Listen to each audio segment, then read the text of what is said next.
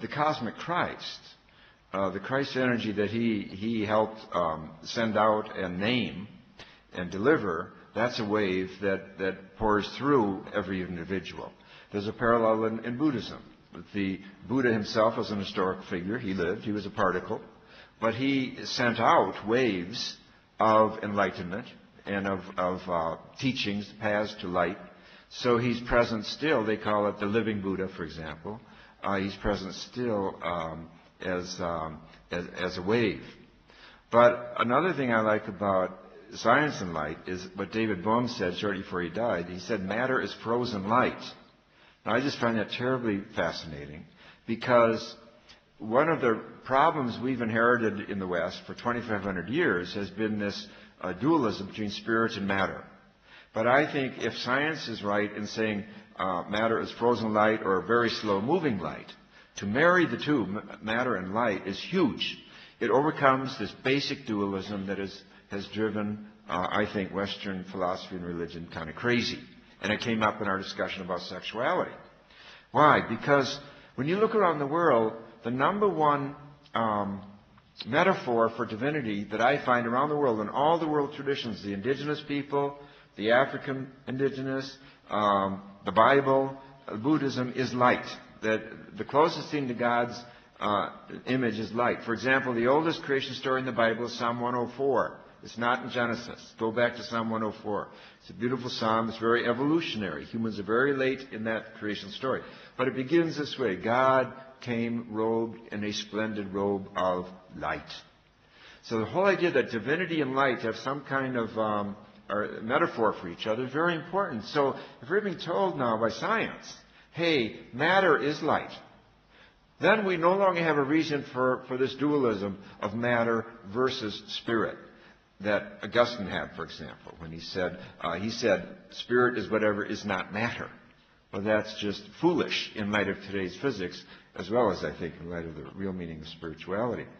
So, um, and then if you consider that light that is born as matter, incarnate light, is rare in the universe. It's something like, I, I think it's, I forget right now, I think it's for every um, molecule of light that is matter, there are a billion molecules of light that are not matter. So that means we are embodied light, not just we humans, but the trees and everything else we, we see, um, we're rare. So far from matter being a scapegoat for our bad choices, which is what a lot of religion has made it over the centuries. A matter is rare, and it's, it's a source of, of praise. It's something to praise that we're one in a billion, and that our other incarnate creatures are one in a billion. So when the Christ in John's Gospel says, I am the light, and of course the Buddha talks about become a light unto yourself, this is very powerful language to tune into the whole history of matter, to tune into your the 13.7 billion years of this of this universe, and that's the meaning of the cosmic Christ, because uh, John's Gospel says Christ is a light in every being in the universe today. That would be the photon in every atom in the universe. That really extends our consciousness, and it's not just about knowing that every atom universe is is um, a son and daughter of God, an image of God, but relating to it. That there's a love thing going on here, just not just a, a knowing thing. And let me add that um, science again has helped us in this because what we think of as light is what's now called visible light, the visible spectrum, and everybody knows that it's only as now everyone knows. They didn't know before the 19th century that it's a very small part of the electromagnetic spectrum. There's invisible light in X-rays, radio waves. All these things have the nature of light. They're vibratory patterns of activity in the electromagnetic field. So X-rays, radio waves, our, our, whole modern technologies are based on these invisible forms of light. Um, radio waves, of vibrations. We can see only a narrow part of the light spectrum. So there's a whole lot more uh, in the nature of light than anyone ever suspected before. So there's this vast expansion of our awareness through science of the electromagnetic spectrum of which the visible range is only part. Now, of course, that's the interesting part from the point of view of consciousness. And the consciousness of light But through radio and television, um, especially television, um, these other parts of the electromagnetic spectrum uh, are, are, morphed into light through our television sets. Um, and indeed, messages passing through telephone wires into our computers or through uh, wireless uh, radio waves to our computers are changed into light through our technology. That's why we have TV and computer screens that light up and show us pictures. So there's been a vast technological expansion into the realms of invisible light, making them visible. And again, I haven't really seen anyone reflect on this vast expansion of our mm. awareness of the, the underlying light of nature and its relations with consciousness. There are so many of these themes which science has opened up, which haven't really been explored from the spiritual point of view. Mm. It's about our, our, creativity at work, isn't it? And bringing mm. more, more um, what should I say, more versions of light and, and more ways to learn and be awestruck and mm. find beauty in light. Mm. Yeah. Thank you both very much for most inspiring words. I'd just like to take up one sentence that Rupert uh, said in the early part of his speech, uh, that quantum physics was vague, nothing yet has come to pass which explains these things. I'd like to draw your attention to a book that only came out last summer, about nine months ago, by Professor Amit Goswami, God is Not Dead, uh, which posits uh, downward causation mm. for the creation, the act of creation. Uh, you were asking as to whether things came up, creativity came up. I, I think if Amit was here, he would say it comes down from consciousness. Uh, I would simply take, uh, I, I, think his, that book is the best mm. thing I've yet, yet seen, and I would commend it to you and this audience. Thank mm. Well, I've, I've read um, some of Amit Goswami's other books and indeed met him. Um, and I would say that he's putting one side, uh, one side of the picture. I mean, he's, he comes from a Hindu background, and it's a, a form of what in the Western tradition would be called idealism, the primacy of consciousness, that matter arises from a primary substratum of consciousness. It's the opposite of materialism. Materialism says everything's matter, idealism says everything's mind or consciousness.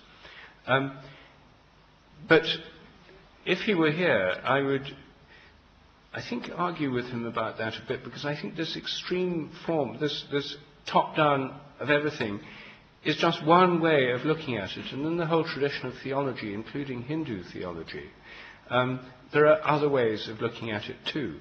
I, I think the mainstream tradition in, in, Hinduism probably is essentially idealistic. But the Tantric tradition is one which emphasizes the importance of, of, of, of energy and form, that uh, the kind of interaction, not just of top-down process, but a bottom-up process too. So I think Goswami is probably the person in the realm of physics who's taken furthest this interpretation, as it were, an idealistic interpretation of quantum physics. Um, I haven't seen his latest book, but I, I, can guess some of the drift of it from his earlier ones. And um, I think that it won't sweep the board any more than any traditional idealistic philosophy has swept the board, because it's always, there's something about matter and the material world which won't go away and which we have to take into account. So I, am more attracted to the kind of tantric approach where both are important in a kind of dance. And, and actually, I'm a Trinitarian, so I think that it's form and energy uh, that are in dance throughout the universe as part of a greater inclusive whole. And I, I just add that um, I'm ill at ease with the language of up and down. I heard Buckminster Fuller speak a number of years ago. I'll never forget. He said, anyone who's still using the words up and down is 400 years out of date. That in a curved universe, in a curved anything, there's no up and down. There's in and out. He said a, a, a pilot does not radio to the control tower, now I'm flying up and now I'm flying down. He says I'm, I'm flying in and I'm flying out. So I think that language helps us with this whole subject that um, the, uh, the Spirit comes in, and it may come from a top place or a middle place or a, or a low place, but it, it enters. It's about entering and exiting, in and out. And again, this also takes us more, I think, back to that sexual imagery that you were talking about earlier. That, that one reason why the sexual imagery maybe is as archetypal as it is, is that in and out is really what gives birth. The, the, the, the Holy Spirit, if you will, um, Aquinas says the same spirit that hovered over the creation beginning of the world hovers over the mind of the artist at work. But where is the mind? Uh, uh, Rudolph, uh, Rudolph. Rupert has proven it's not just in the head. You see, so the mind is to be penetrated by spirit and by uh, the muses and by ideas and by the ancestors and, and all the calls that we receive. And so I think, and I think many artists will, will feel this, that um, it's an in-out dynamic more than an up-down dynamic. Page 34. Um, my question is a sort of personal question, really. Um, you're up there fielding questions, and I very much enjoy going to these sort of um, lectures and so on and learning new stuff. But when I get home, there's one thing that I dread, and that is tomorrow my work colleagues or my friends in the pub at the weekend or my partner will ask me, what was it you learned at that lecture? And I think, God, they really want to know. And I try and put it into words, and I don't know whether it's because I'm not articulate as much as the speakers, or whether it's that there's, I have this fear that there's this big hostility out there, and that as soon as you start to explain anything spiritual to the people in my normal life, I'm going to be shot down in flames and told that's ridiculous, that's mumbo jumbo, or don't talk such rubbish, or, and it's quite painful. Mm. And so I just wondered whether you've got any ideas on how to deal with that.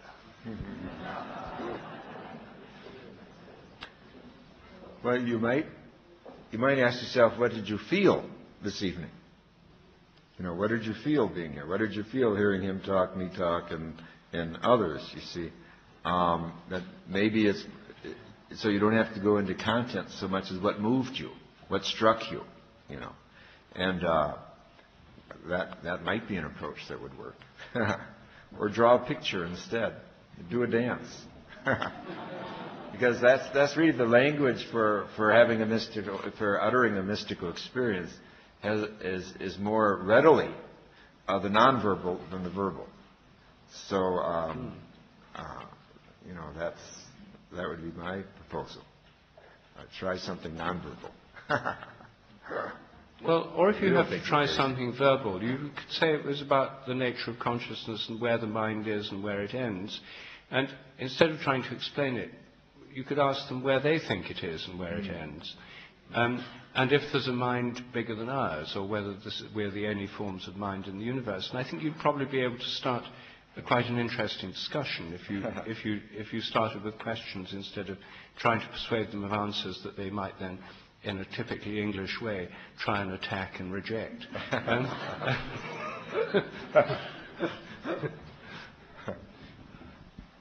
Hello, my name's Paul Mateny. Um, I'd like to, in a way, personalize it even more, bringing it down into each of these aspects of consciousness that are sitting around here. Because you've given a lot of very helpful analytical insight. You've said a lot about what should be done, what needs to be done, what had better be done. Um, and you've also said from Homer to Dick Cheney that, that, the, that the intellectual ideas don't actually change things very much, very fast, on their own. So I'm glad you mentioned feeling, because I think that's, that's where I'm wanting to say something now. Because you, have mentioned also uh, sex, you've mentioned creativity, generosity, all of these kind of impulses. And yet, my question is, what is actually going to shift us? Do we need to undo another taboo, which I think there can be in intellectual circles, which is a taboo on talking about desire and emotions? And what is actually going to shift each of us away from the ideas into actually our feelings and our emotions into really changing our lives? So I think this connects very well with what you've been saying. Thank you. I- I'd like to just take one and respond to that, maybe Yes. two. Um, I think one thing that, one meditation we can all do that gets us to change is to do a meditation